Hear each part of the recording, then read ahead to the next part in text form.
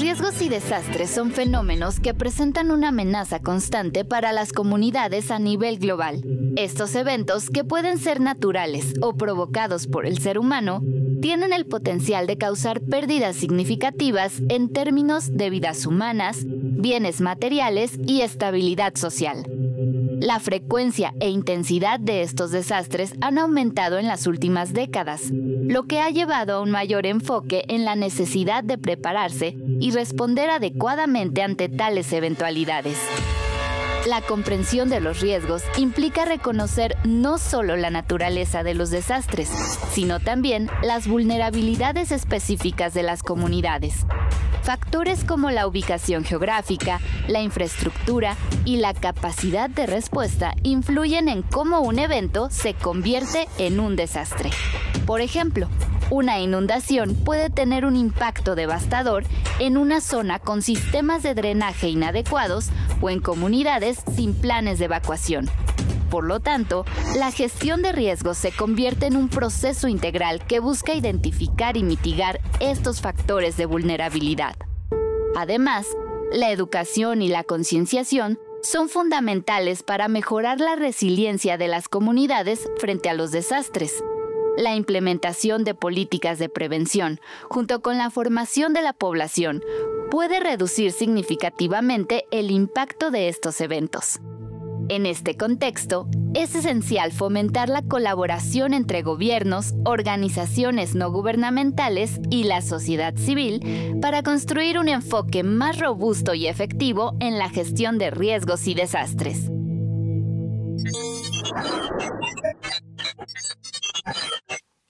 Le damos la más cordial bienvenida a un programa más de nuestro planeta Creando Conciencia. Hoy vamos a tratar un tema muy importante y muy interesante que se, se, denomina riesgos de desastres. Y para hablar sobre este interesante tema, nos encontramos con la doctora Frances Rodríguez Van Gort. Ella es egresada de la Facultad de Filosofía y Letras de la UNAM, donde se tituló de licenciada en Geografía, maestra en Geografía en el área de Geografía Ambiental y doctora en Ciencias en el Instituto de Geofísica en el área de riesgos de desastres. Sus principales líneas de investigación y publicaciones son los riesgos y desastres, la vulnerabilidad social y de género, la bioética en el manejo de los recursos naturales, entre otros. Es profesora en el Colegio de Geografía, fue titular de la coordinación de Sustentabilidad y Prevención entre 2017 y 2019, fungió como secretaria general de la Facultad de Filosofía y Letras desde febrero del 2020. Ha coordinado varios libros y publicaciones producto de sus investigaciones. Eh, ha participado en capítulos de libros como autora y en coautoría. Ha participado en la publicación de artículos de revistas indizadas. Es miembro fundador en activo de la Red Mexicana de Estudios Interdisciplinarios para la Prevención de Desastre desde 2008. Miembro académico de la Sociedad Mexicana de Geografía y Estadística desde 2015. Miembro de la Federación de Mujeres Universitarias desde 2016 y miembro de la American Association of Geographers desde 2017. Desde el 8 de marzo del 2021 es la directora de la Facultad de Filosofía y Letras. En 2004 fue galardonada con la Medalla al Mérito Geográfico 2024, otorgada por la Sociedad Mexicana de Geografía y Estadística. Le damos la más cordial bienvenida a este programa y esperamos tener una plática muy interesante referente a este tema, que son los riesgos de desastres. Muchas gracias, Francisco. Verdaderamente, pues muy contenta de estar acá con ustedes y pues este tema muy importante en nuestro planeta, que es donde vivimos. Claro, y, precisamente eso es lo que queremos darle a conocer o, llegar, llevar el mensaje a la población en general. Como geógrafa y especialista en temas de riesgos, para usted, ¿cuál sería la mejor definición de riesgos y desastres? Pues e, efectivamente es una muy buena diferenciación porque muchas veces los confundimos. Y el riesgo fundamentalmente es una situación o es un fenómeno que puede ocurrir. Cuando hablamos de riesgo estamos hablando de algo, eh, pues un escenario, una situación probable. De hecho se estima en probabilidad. No, la probabilidad de que ocurra un evento que nos cause algún daño. Ese podría ser el riesgo, ¿no? Eh, no es lo mismo que los peligros ni las amenazas y mucho menos que, mucho menos que los desastres. La, podríamos decir, por ejemplo, que los desastres son em, el evento cuando ya ocurrió. Es, podríamos decirlo de alguna manera, ese riesgo, pero ya eh, presentado en la realidad, presentado ante la sociedad. Cuando ya ocurrió un evento catastrófico o un evento eh, pues de pues magnitudes importantes, de daños importantes, es cuando hablamos de desastre. De hecho, hay otros eventos que pues, son como accidentes o que son como incidentes y que no tienen la, la, característica de desastre, no, no caben en esa definición porque en la magnitud de sus daños, una regla muy, eh, muy, muy fácil es cuando la magnitud de los daños excede la capacidad de respuesta de la sociedad. Es decir, si tenemos una población que se inunda eh, por ejemplo, pensemos un poquito en el sureste mexicano, que es donde tenemos las precipitaciones más altas de, la República. Son zonas que antiguamente eran semipantanosas, donde hemos construido ciudades ahora. Entonces, de pronto, en épocas de precipitaciones intensas, como este, cuando los meses de septiembre, que es ya hay mucha eh, precipitación acumulada en el subsuelo. En esos meses, por ejemplo, suelen inundarse algunas zonas, pero es algo con lo que la población convive y que también tiene mecanismos de respuesta, inclusive sus autoridades. Desastre es cuando excede eso y genera daños, daños importantes. Significativos, ¿no? Entonces, tendríamos que riesgos es la posibilidad de que ocurra y el desastre es la poca capacidad de respuesta ante un hecho que ya sucedió. Sí, sí, sí. El desastre es ya cuando ocurrió y hubo daños significativos. Claro. Sí. En este escenario, eh, ¿cómo influyen las características socioeconómicas y ambientales de una comunidad que está en vulnerabilidad ante un riesgo de desastre y desastre? Pues eh, son muy importantes, muy importantes, porque eh, obviamente eh, si las condiciones socioeconómicas no son adecuadas, la población es más vulnerable. cuando hablamos de condiciones socioeconómicas, tal vez no nos estamos refiriendo a cantidad de dinero, sino nos estamos refiriendo a posibilidad de, educación, a posibilidad de, servicio de atención médica importante, hospitalaria. Eh, nos estamos refiriendo a insumos, por supuesto. Claro, que también interviene la cantidad, eh, poder adquisitivo, pero no es lo único o no es lo más importante. Se ha visto, hicimos un trabajo en Motocicla, por ejemplo, donde lo que modificaba la, la vulnerabilidad de la población era tener el conocimiento del fenómeno. Claro. Y que sus gobernantes tuvieran alguna estrategia de, atención o de prevención, así como la propia población, que tuviera alguna estrategia comunitaria de, respuesta ante un desastre, posible desastre o ante un riesgo, ¿no? Claro. Con base en su experiencia, ¿cree posible que un desastre pueda evitarse? Por supuesto que sí. Por supuesto que sí. Eh, ahora, hay distintas magnitudes, ¿verdad? Entonces, lo que se busca con la prevención de desastres, con el análisis de riesgo, eh, pues que, además, bueno, regresando un poquito a la definición de, riesgo, se establece a partir de la vulnerabilidad. O sea, ¿qué es el riesgo? Es esa probabilidad. ¿Y qué lo conforma? Pues la condición de la población, o sea, mis condiciones, que es mi vulnerabilidad, el peligro al que estoy expuesto, los distintos peligros que antes se consideraban como los riesgos, se confundía ese término, y los peligros que son esos fenómenos físicos o sociales que eh, pues tienen una fuerza tan importante que pueden generar daños importantes, daños fuertes, ¿no? Eh, y la exposición. eso, eso, se conforma, con eso se conforma el riesgo.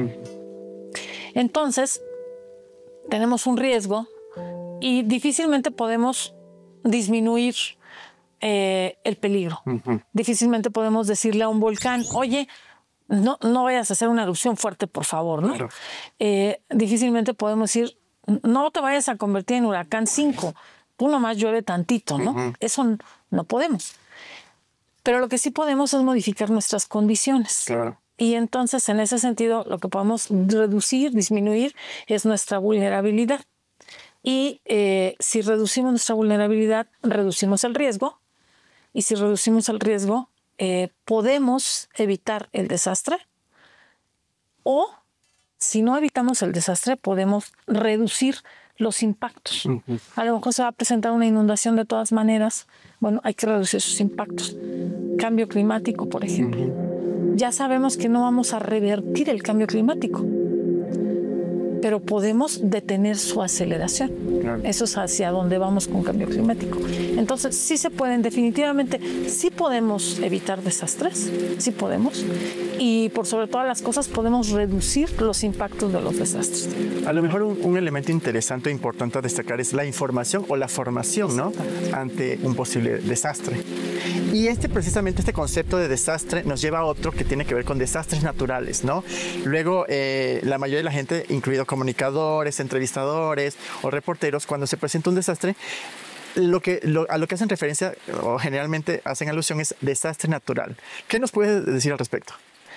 Bueno, justamente en 1985, en noviembre de 1985, el volcán Nevado del Ruiz en Colombia eh, tuvo una pequeña aumento de actividad, eh, lo que generó dos lajares.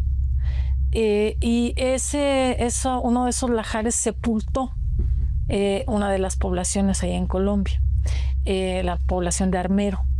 Y bueno, las cifras van entre 20 y 30 mil muertos. generalmente los desastres que están asociados a, a, una erupción volcánica o a una actividad volcánica son los menos. De todos los desastres del mundo que están relacionados, todas las muertes que están relacionadas con un desastre que, donde se involucró algún fenómeno natural, solo el 2% corresponde a los que están relacionados con los volcanes. Bueno, pues eh, si hablamos de que sepultó una población y que estamos hablando de 20 mil o 30 mil muertos, pues es muchísimo. La, UNESCO tiene una categorización de eh, los, las 10 erupciones más importantes del siglo XX y la condición es que ha habido mil muertos. Pues hablar de 20 o 30 mil es muchísimo. Y eh, además, ese volcán tenía, claro, nosotros ni pensamos en él porque nosotros teníamos el 85. Sí. Acababa de pasar el 85, el sismo pero eh, era un volcán que por su magnitud eh, tenía un mapa de peligros, tenía un sistema, eh, tenía un sistema de monitoreo y tenía un protocolo, tenía un protocolo de acción gubernamental. Y con todo eso ocurrió lo que ocurrió, ocurrió ese desastre. Eso genera especialmente en la comunidad geofísica, al principio son los geólogos, los geofísicos, aunque se incorporan todas las ciencias sociales y las humanidades, por supuesto, genera una gran, es un antes y un después en este tema, porque genera una angustia, una incertidumbre. A ver, si ya caracterizamos al volcán, si ya lo estamos monitoreando, si ya hicimos el mapa, si ya tenemos... ¿Por qué ocurre esto? Ah, es que hay factores sociales que participan de manera fundamental en la generación del desastre.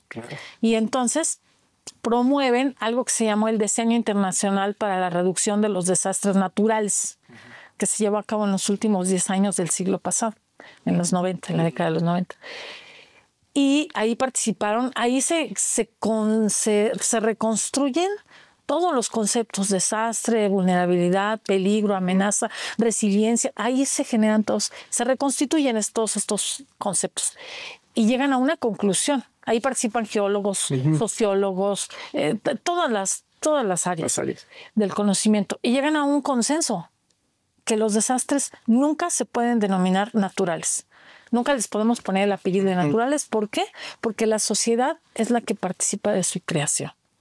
Está el volcán ahí y hace erupción, lo que tú quieras, pero somos nosotros los que nos situamos cerca del volcán, los que vivimos, los que no hacemos caso de las indicaciones, los que cuando somos este un gobernador municipal, pues nos preocupamos de otra cosa en vez de avisarle a la gente. Los que decimos, ah, va a ser mucho gasto, este, eh, pues eh, montar los las, zonas de resguardo, etcétera. Y esa convención pues duró esos 10 años así como que nadie le decíamos desastres naturales, ¿no? Porque decían, es que si le llamamos naturales, le quitamos... La parte social. Exactamente, le quitamos la parte social y entonces nos quedamos aquí, ¿qué vamos a hacer? Pues rezar, ¿no? Entonces, este, pero, pero sí quiero decirte que eh, especialmente en los últimos 10 años, como la última década, y con este tema de cambio climático que está, pues, que es tan importante. Ahora, pues lo, estamos viendo cada vez más precipitaciones, cada vez más ondas de calor. Eh, se, ha, vuelto a caer un poco en esto que dicen, volvemos a llamar desastres naturales, ¿no? Volvemos a, ese, pues, concepto, a ese concepto. ¿no? Sí, eh, la verdad es que fue una convención y dijimos, ya no les vamos a llamar desastres naturales, pero volvemos a caer, porque para las poblaciones, para los gobiernos, eh, resultan tan fuertes algunos fenómenos naturales. Sí. Que es, tan imponente la fuerza que hemos vuelto a caer y por ahí lo volvemos a, usar, desastres naturales. Pero lo más correcto, lo más correcto es hablar de desastres y tomar conciencia de que nosotros somos por pues, los principales generadores de los desastres. Sí, al, final de cuentas el ser humano está en constante interacción con el medio y es casi improbable o imposible que no que la, acción que yo haga en este momento no tenga una repercusión. Y si hablamos del medio ambiente, pues con mucha más razón, ¿no? La poca planificación, eh, los riesgos, por ejemplo, de hacer una construcción cerca de los ríos y así infinidad de ejemplos podríamos No hay lugar seguro en este planeta. Exacto. Entonces lo que tenemos que hacer es convivir con nuestras condiciones. Nos quedamos con esta idea y nos vamos a ir a una pausa de medios y regresamos en un momento con este interesante tema.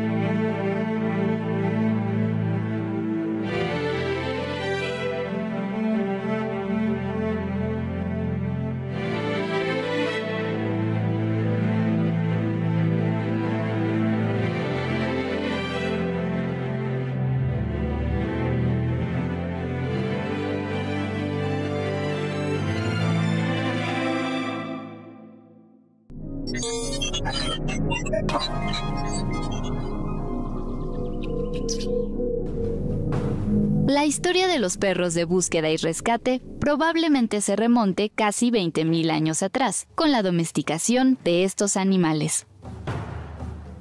El excepcional sentido del olfato del perro es de 10.000 a 100.000 veces mejor que el de los humanos. Si combinamos unas habilidades de rastreo increíbles, lealtad, entrenamiento, resistencia y capacidad física, no es de extrañar que los perros sean y siempre hayan sido tan útiles para misiones de búsqueda y rescate.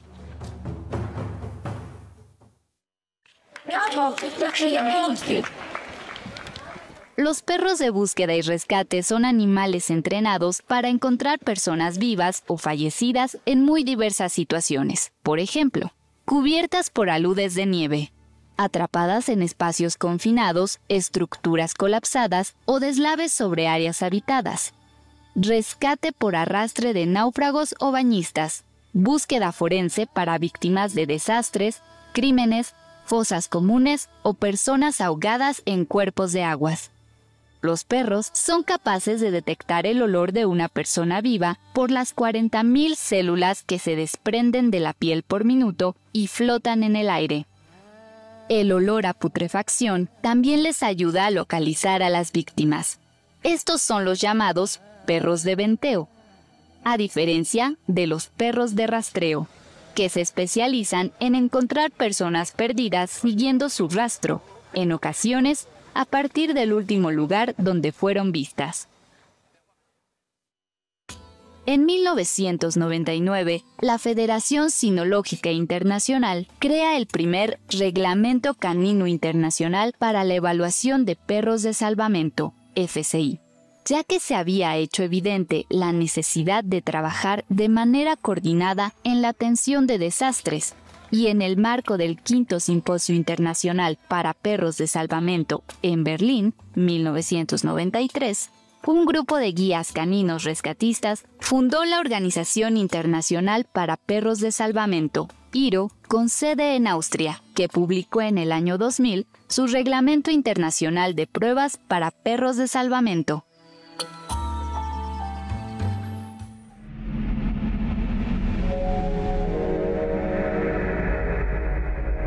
Estamos de vuelta con este interesante tema, riesgos de desastres. En la primera parte hicimos esta diferenciación entre eh, desastres y desastres naturales, ¿no? O la conceptualización de qué es lo que debemos conocer en términos de eh, lo que es correcto en términos de desastres. Ahora vamos un poco a hablar ya un poco más en la parte personal incluso que tiene que ver con este tema. A lo largo de su trayectoria, ¿cuál desastre le ha marcado o ha impresionado tanto tanto en lo personal como en lo profesional. ¿Puedes comentarnos algo?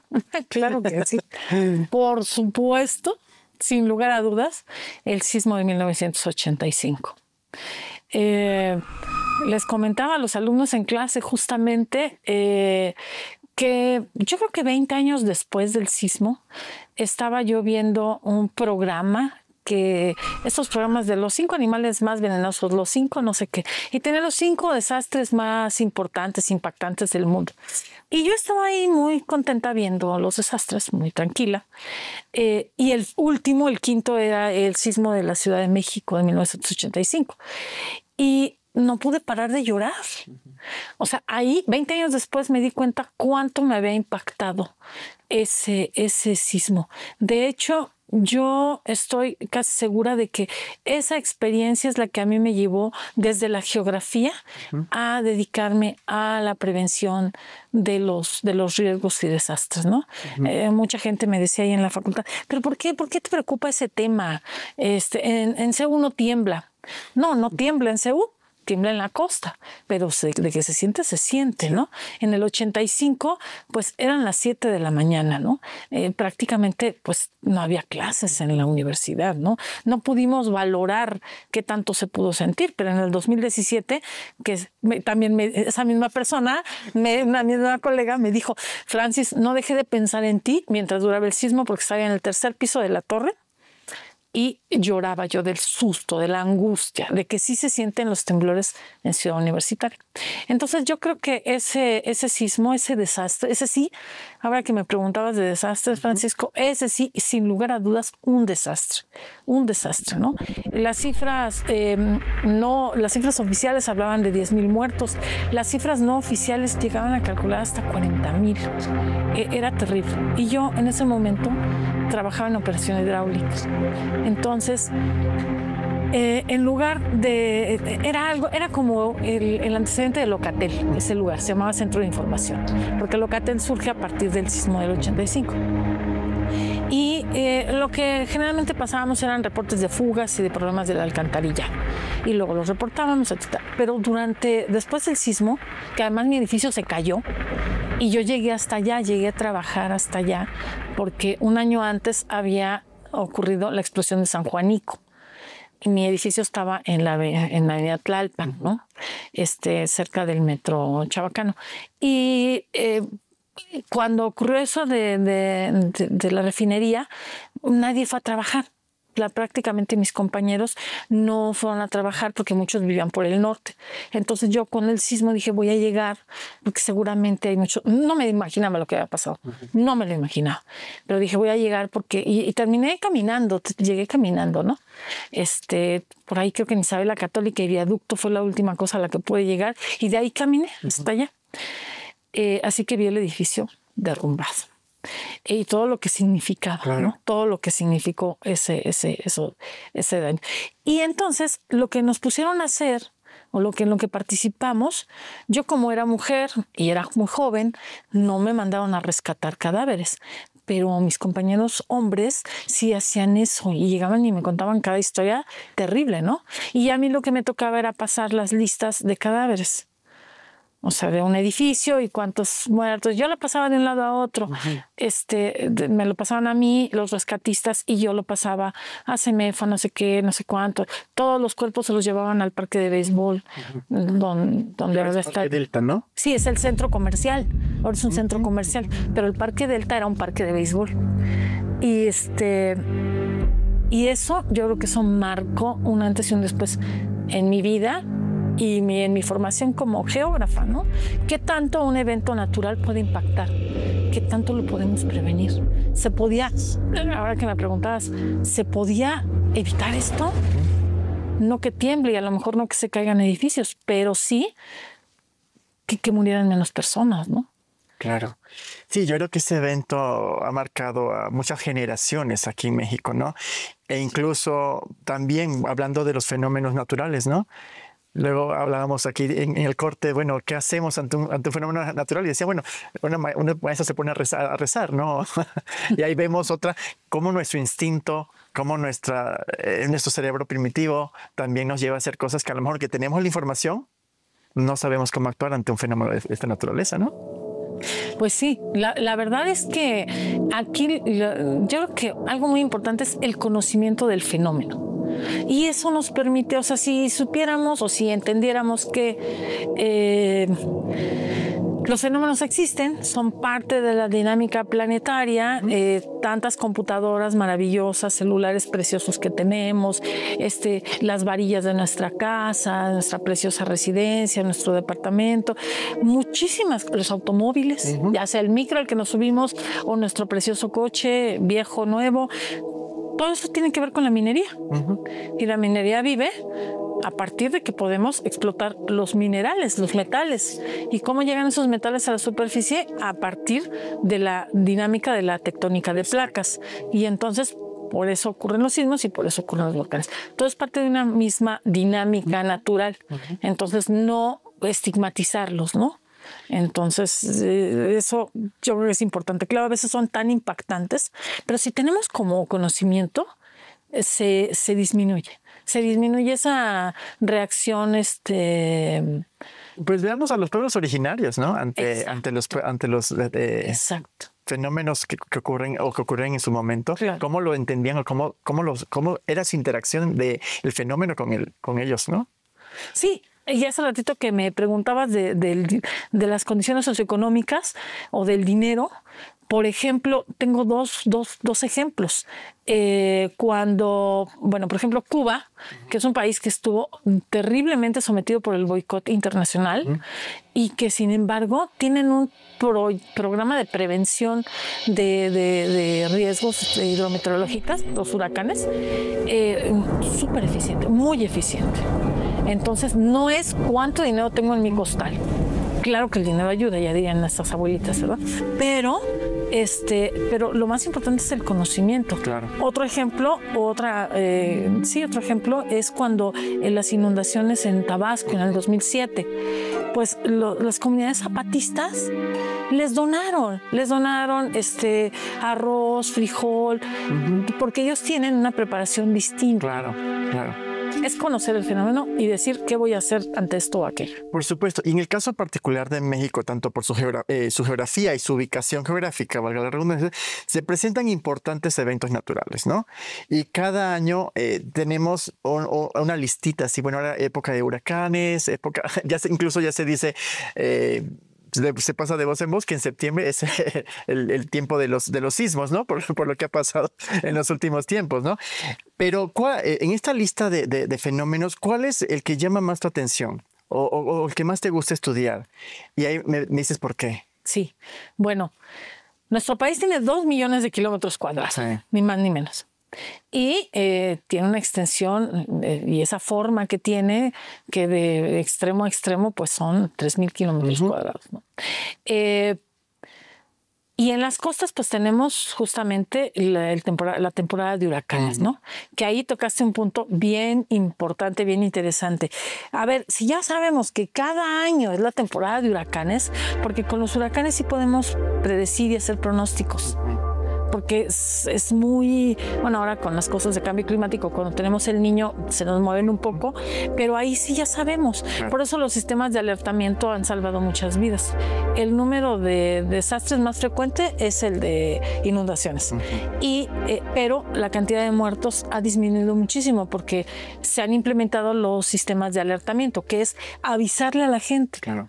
Y la gente también tiene, o sea, tenemos que entender que lo mismo, los huracanes son parte de la naturaleza y tienen una función, etcétera. Entonces, las costas, pues la parte de los, de los riesgos de, huracanes y precipitaciones intensas. Luego, en las ciudades, eh, eh, en las grandes ciudades, especialmente si están en algún valle, porque pues son las zonas más agradables para vivir, ahí se conformaron, pues hay inundaciones. Mm. Eh, a veces cambiamos el curso de los ríos para hacer un desarrollo inmobiliario, para hacer casas, un centro comercial, y años después hay un periodo como de recurrencia que va entre 15 y 25 años, vuelve a inundarse esa zona, ¿no? Entonces, estar prevenidos, estar prevenidos, hacer puentes más altos, avisar, estar atentos al, los pronósticos hidrometeorológicos, etcétera. Luego tenemos los sismos, ¿no? Tenemos esta zona de, contacto de placas en el Pacífico muy importante, muy activa, eh, y esta, esta zona pues genera sismos.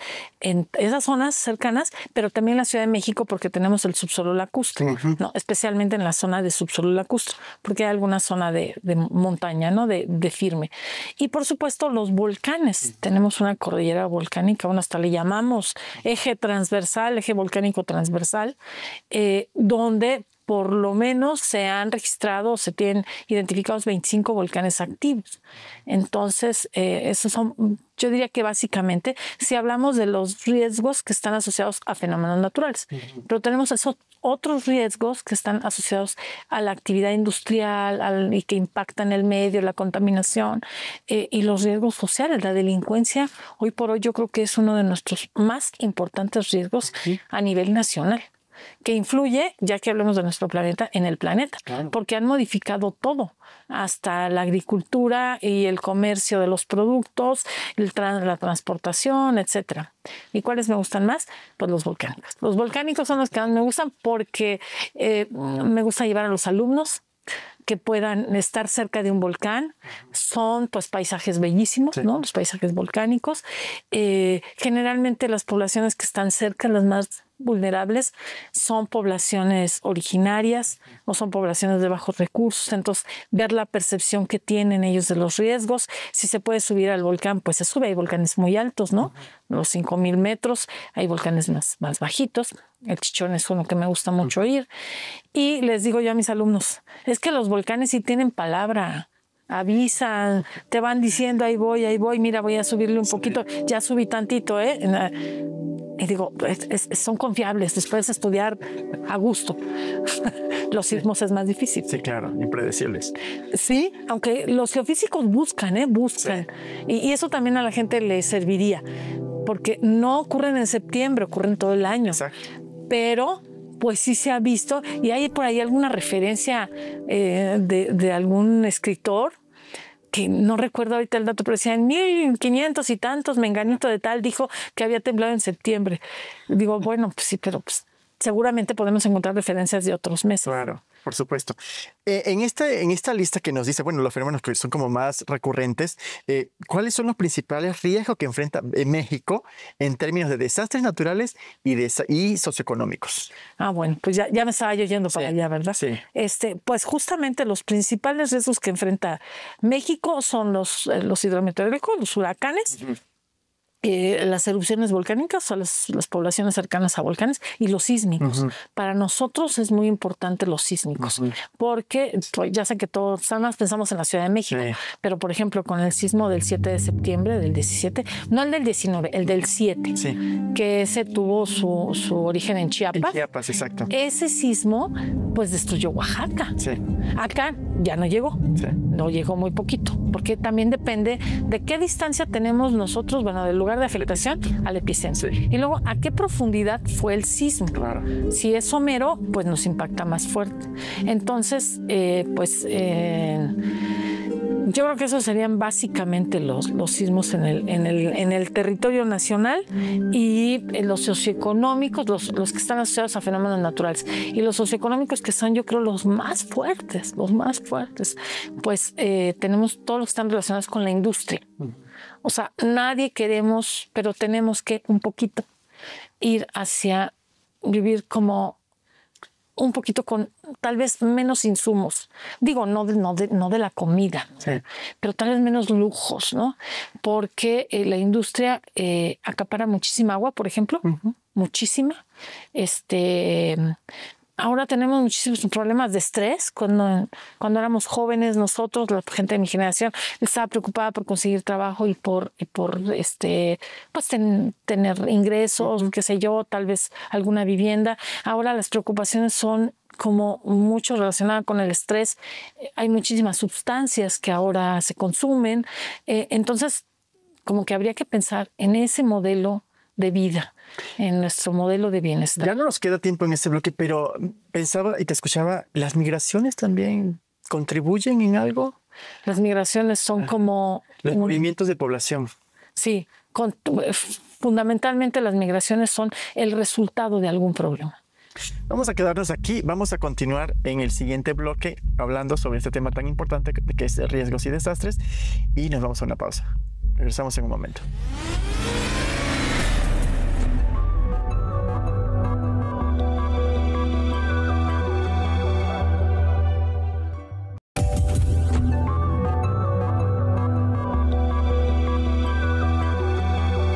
Estamos de vuelta conversando con Frances sobre ese tema tan interesante de riesgos y desastres. Nos quedamos con una pregunta sobre las migraciones, ¿no? Y ahí me gustaría complementarla en el, contexto del cambio climático, ¿no? Y la frecuencia e intensidad de estos desastres, eh, particularmente en México, ¿no? En esta última década. ¿Qué nos puedes decir al respecto? Pues eh, como, te decía antes de irnos al corte, las migraciones eh, sí afectan el medio, como todo, toda actividad humana afecta, impacta el medio. Pero más que otra cosa son resultado las migraciones de conflictos bélicos, hambrunas, etcétera, y de cambio climático. De hecho, se tiene previsto que, eh, bueno, con cambio climático, uno de los principales escenarios que se tiene es que va a aumentar el nivel del, mar. Y las grandes ciudades, importantísimos puertos y ciudades están eh, a nivel del mar. Entonces seguramente va a haber migración. Eh, mm, prácticamente ahorita por cambio climático, pues sí ha habido migración. Generalmente son migraciones temporales, porque una zona se inunda, luego regresan.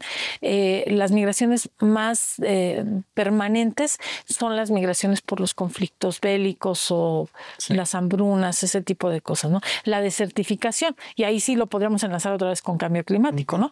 Y cómo ha aumentado, sí, definitivamente se ha visto. Al principio, hace 20 años, había muchas dudas de si el cambio climático existía o no. No entiendo por qué, pero bueno. Este, pero se ha visto que efectivamente la frecuencia de, huracanes y la intensidad ha aumentado, ¿no? Esos super huracanes como que se han presentado justamente en la última década. Entonces se ha visto que los fenómenos mm, climáticos se han visto afectados por el cambio climático. En este contexto de, bueno, ya hemos venido hablando a lo largo del programa de lo que son los riesgos, lo que son los desastres, la interacción del ser humano con el medio, que también provoca muchas de estas cuestiones. Veamos ahora, o quiero preguntarte básicamente, el papel de las autoridades en el desarrollo de la atención de un desastre. ¿Cómo estamos en esa materia? Bueno, es muy importante el papel de las autoridades. De hecho, lo que yo más estudio es la vulnerabilidad. Y uno de los elementos de la vulnerabilidad, pues es el perfil de los tomadores de decisiones, ¿no? Y me acuerdo mucho que cuando Ingrid y Manuel eh, tienen un centro de monitoreo eh, de fenómenos mm, del mar y de la atmósfera maravilloso, maravilloso. Y el que estaba ahí, el jefe, me decía, ah, yo también estuve aquí cuando el Paulín. Y yo decía, bueno, este, pues tal vez usted no es la persona más adecuada para estar aquí. No, pues no, era un líder de taxistas. Mm. Entonces, este, bueno, eso es importantísimo. Hemos avanzado fundamentalmente. Yo creo que eh, pues hay una ley de protección civil.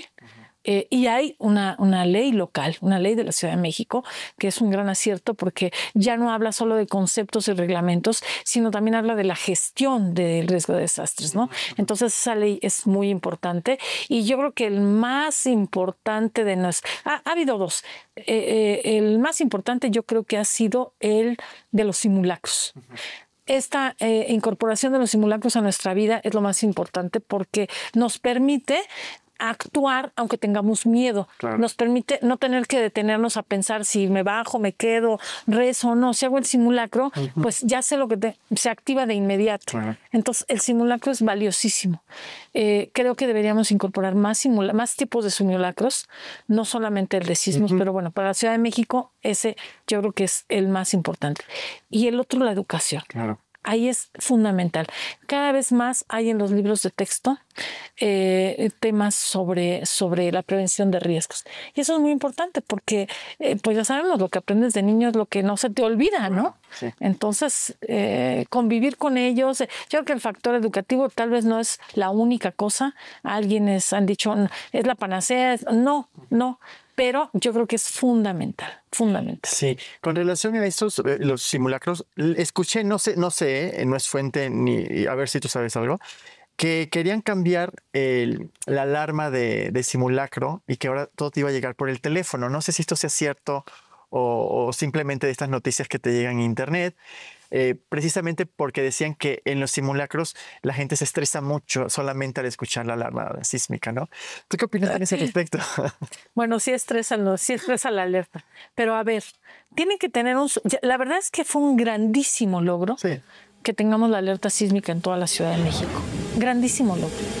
Cuando después del sismo del 85 eh, a un ingeniero o a un grupo se les ocurre esto de que la velocidad de la luz eh, del sonido es más rápida que la de las ondas sísmicas, midiendo lo de Acapulco casi un minuto, este, es una maravilla. Ningún gobierno lo quiere pagar. El primer gobierno que se hace cargo de la alerta sísmica es el gobierno de la Ciudad de México. Y para nosotros es importantísimo, pero por ejemplo es una alerta que debe existir en el Estado de México. El Estado de México tiene la misma vulnerabilidad que nosotros y nuestra alerta sísmica. Entonces, bueno, yo creo que es un gran logro lo de la alerta sísmica, muy importante. Y ahora, ¿qué sonido le vamos a poner? El que te guste, el que a ti te guste, el que más te guste, la pieza más bonita de música que te guste. La pones y dos años después ya va a significar estrés. Cuando hagas la asociación, ¿no?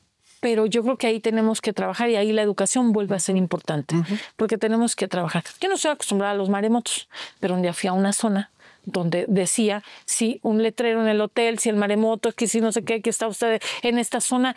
Y yo me acuerdo que yo que me dedico a los riesgos dije, ay, nada más lo estresan a uno pero, pero sí tenemos que, la percepción del riesgo yo creo que es un elemento fundamental. Y ahí la educación es un tema básico para modificar, cambiar, acercar esa percepción a la realidad y trabajar con ella, ni modo. Entonces, sí se estuvo después del, del 17, se decía es que nos estresamos mucho, pero entonces, ¿qué vamos a poner? Pues y, esto también nos lleva a nosotros a decir, bueno, ¿qué papel nosotros jugamos, no? En, en, este, en este contexto. Y bueno, ¿qué papel juega también la sociedad en el desarrollo de un desastre? Somos absolutamente corresponsables. Desde las autoridades por las cuales votamos, las autoridades que elegimos, hasta lo que decidimos hacerle caso en los medios de comunicación, en las redes, y las acciones que hacemos o dejamos de hacer, la importancia que le damos a esos fenómenos todas las personas en esta ciudad, todas, deberían tener esto de la maleta de, de como le llamen, de salvamento. Este, todas las personas deberíamos tener el protocolo de riesgo sísmico. Ya sabemos que hay algunos lugares donde no, no se sienten tan fuerte. Si vivo en una casa y vivo en Coajimalpa, pues a lo mejor no me preocupa tanto, pero trabajo en Polanco, en una torre, ahí tendría yo que tener una, una preocupación. No podemos dejárselo a Dios, ni tampoco dejárselo a mi jefe, ni tampoco dejárselo a, a las autoridades de manera completa. Tenemos que entender que somos parte del problema y parte de la solución. ¿Qué considera sería una buena política de prevención de desastre?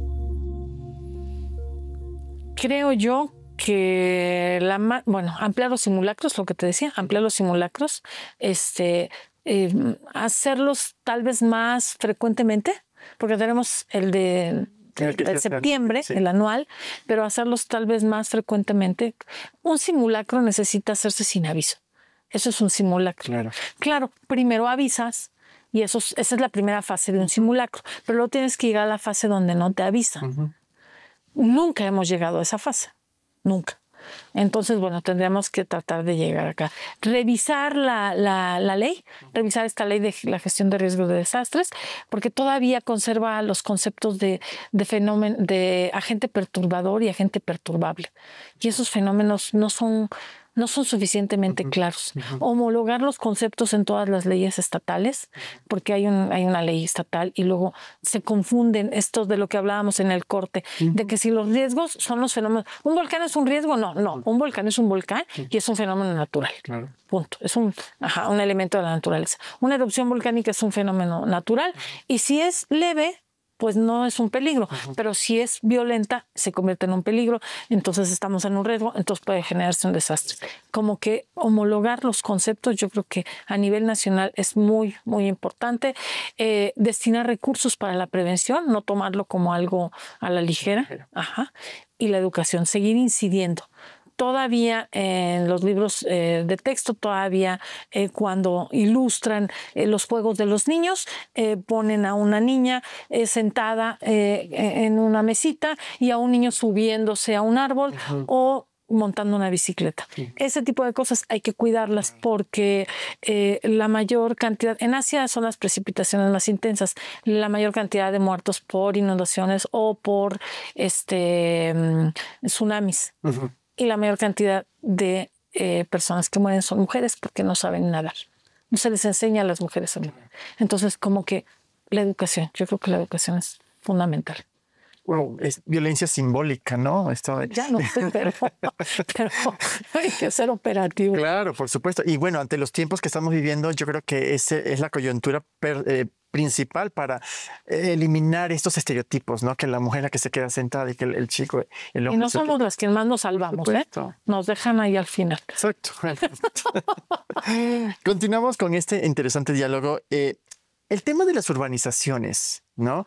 Que también es un tema que hay que, tocar así incluso con pincitas, porque, bueno, responde también a, muchas cuestiones que se salen de control, pero este tema de urbanización es como un elemento que aumenta la vulnerabilidad de riesgos, ¿no?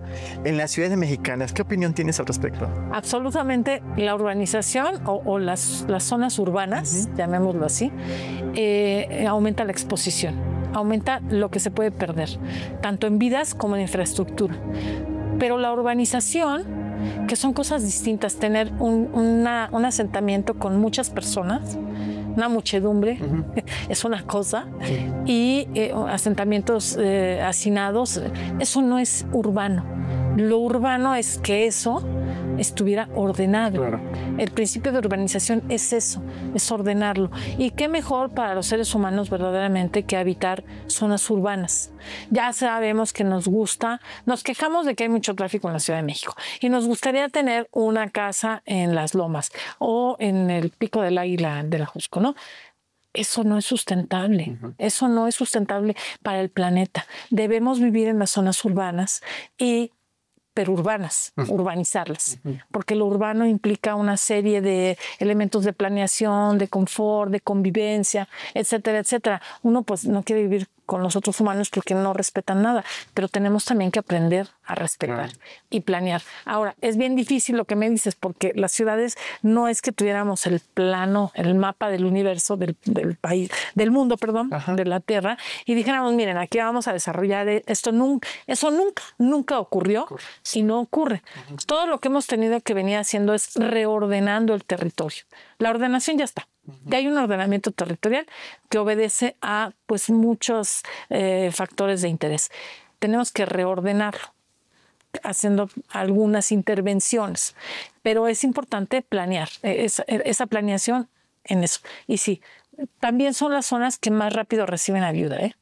las zonas urbanas. Bueno, eso por lo menos.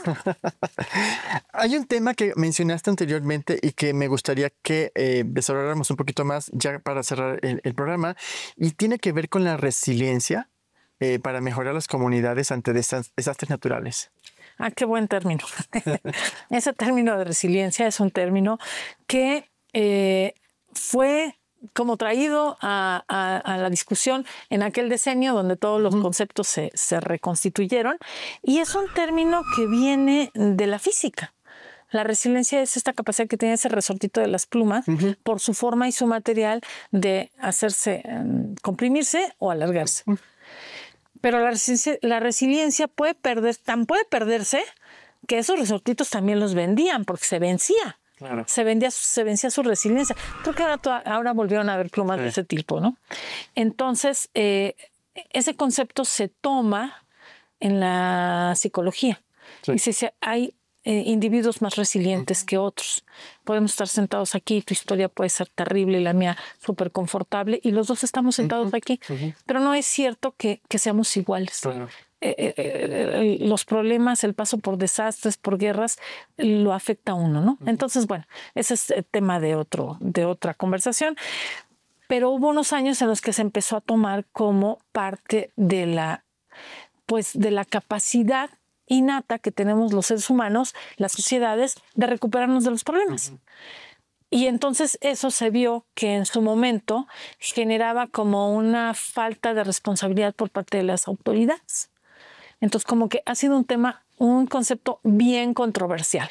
Ahora, si nos vamos a la ley, esta ley de gestión de desastres y la ley de, protección civil, tanto la federal como la local, ahí el concepto se ha afinado. Y entonces es una serie de, eh, pues de acciones gubernamentales, sociales, de todos los sectores, donde si hablamos de todos los sectores, también entre el empresarial, que, que trabajan para eh, recuperarse de un problema y que la siguiente vez, esa es la resiliencia, ya ocurrió el sismo, la siguiente vez que ocurra un sismo, porque va a ocurrir, no nos genera tantos daños, nos podamos recuperar un poco más rápido. No haya 20 años viviendo gente en los camellones, ¿no? Porque una serie de cosas, ¿no? Entonces, eh, creo yo que la resiliencia es muy importante. Hay que trabajar la resiliencia. No es innata, no es sola. Hay que trabajarla, pero es indudablemente ese concepto, yo creo, bien manejado, el que nos permite reducir la vulnerabilidad. Y nos quedamos con estas últimas palabras, eh, un concepto muy interesante. Creo que le has dado el peso importante a la educación, porque al fin y al cabo es el que hace esta modificación de conducta en el ser humano, en las poblaciones. Y nos quedamos con este, este importante mensaje. Nos vemos en la siguiente, en un programa más de nuestro planeta, Creando Conciencias. Nos vemos en la siguiente. Muchas gracias. Muchas gracias.